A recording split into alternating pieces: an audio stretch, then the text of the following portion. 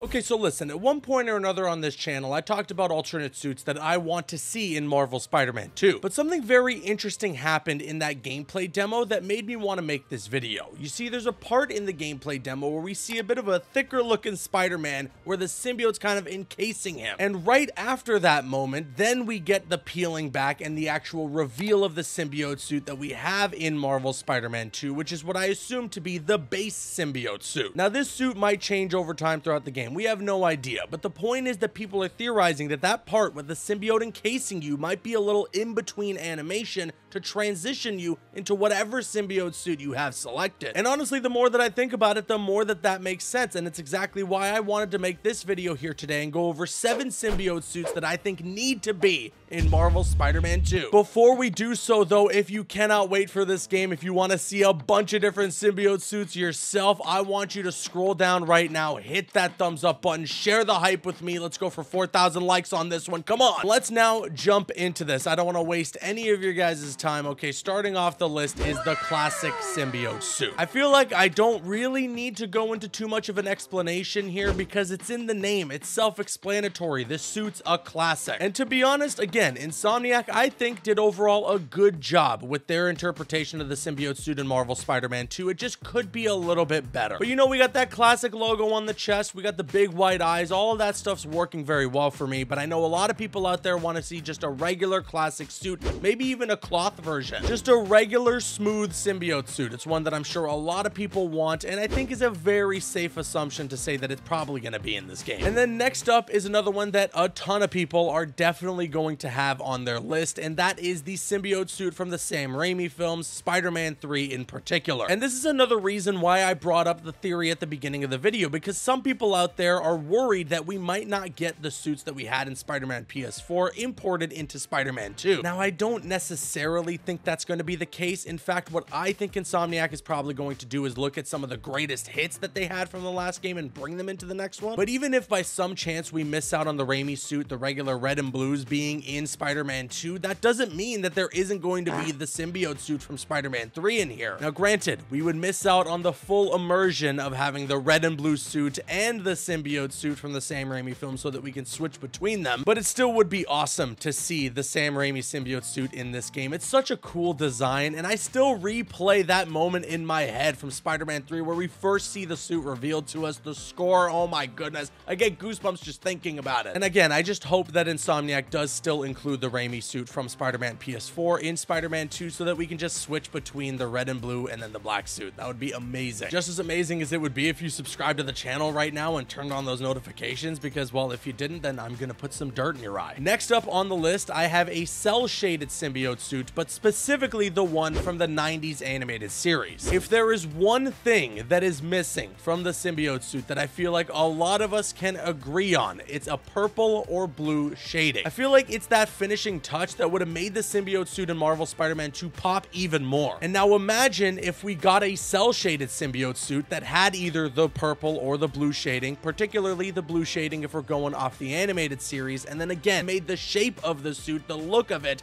pretty much modeling after the animated series look. Know, it's kind of similar to what they ended up doing with the animated series suit for Miles in Spider-Man Miles Morales, the way that they changed the overall body type essentially to match that of the look from the animated series. I think having that, but with the symbiote suit and then seeing the blue shading would be, oh my goodness, just come on, please, Insomniac, do this. Next up, and this is a personal favorite of mine, although this isn't a very uncommon pick, that's Agent Venom. This would just be crazy if it actually ended up happening. I'm such a huge fan fan of this design, this more tactical, armored look. You know, imagine if the suit even had some guns in the holsters. Of course, guns that you couldn't use. But this design just works so well. And I don't think a Flash Thompson is going to be mentioned or pop up in Spider-Man 2 in any way, shape, or form. So I feel like there's no reason to be holding out on a suit like this, a design like this for Marvel Spider-Man 2, because I doubt that they're going to be making an Agent Venom game anytime soon. As cool as that would be. Just imagine everything you saw in the Marvel Spider-Man 2 gameplay demo, but with the Agent Venom skin on top. Okay, like, come on. And then following that, I got a suit that's a bit more obscure, a suit that I feel like a lot of people don't know about, and it comes from the Venomverse comic, and that's Poison. Now, there's actually a couple of interpretations of Poison, one of which was actually an alternate suit in one of the previous Spider-Man games, but I'm talking about the one that comes from the Venomverse run. You know, the all-white suit that looks very alien-like in its nature, and that also has the black logo on the chest with the tendrils, you know, dangling off the sides. This is just, no doubt about it, one of the cooler Spider-Man designs that we've ever gotten. Honestly, it looks so sick, and it would be even cooler to be able to use this in-game. Think about what I just said about Agent Venom, but now again, plop the Poison symbiote suit in place of that. And then imagine as well if they match sort of the color of the suit with the symbiote tendril attacks that you do,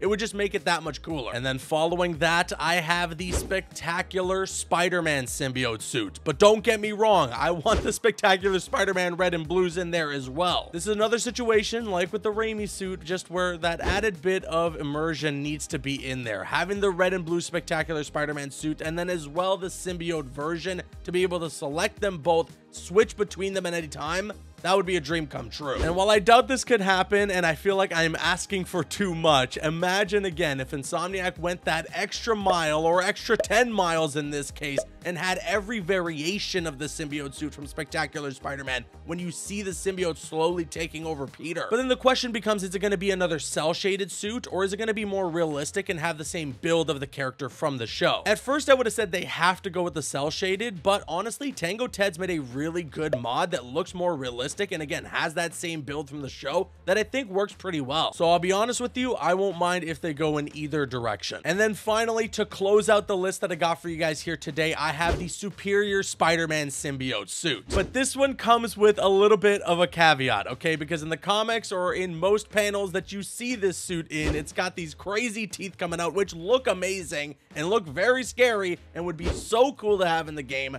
but won't really work that well in cutscenes. I can imagine if we played through that gameplay demo we got from the PlayStation Showcase, but with the superior Spider-Man symbiote suit and the teeth were poking out, it would look a little bit weird. Thankfully, there's also a version without the teeth, but honestly, I hope the teeth stay there in gameplay. I doubt this is what's to happen, but that would be a cool way to have the best of both worlds. And it would also help me fulfill the dream of being able to play as Venom in some way if Venom isn't actually playable in this game. Or who knows, if they're still to have suit powers in this game, imagine if the superior symbiote suit had a suit power that lets it go like Venom mode and then you see the teeth. Plus, this is just such a good design. Think about it as well. We have the Iron Spider arms as part of Peter's normal move set. We haven't seen what it looks like when Peter's fighting without the symbiote, but we know from the reveal trailer that he's got those spider arms. And that is a very superior Spider-Man thing and would very easily transition into the symbiote version of the suit. And although it's a word that I've been using a lot in this video, I'm sure for a lot of people out there that are a huge fan of the superior Spider-Man storyline, it would give you that immersion that you're looking for. And as a side note, I've seen a lot of people say that they hope they actually do the superior Spider-Man storyline in the games, and oh, I just could not disagree more. Don't get me wrong, interesting idea for a run, some pretty cool alternate suits that we're definitely going to be getting from it, but in terms of implementing that into the games,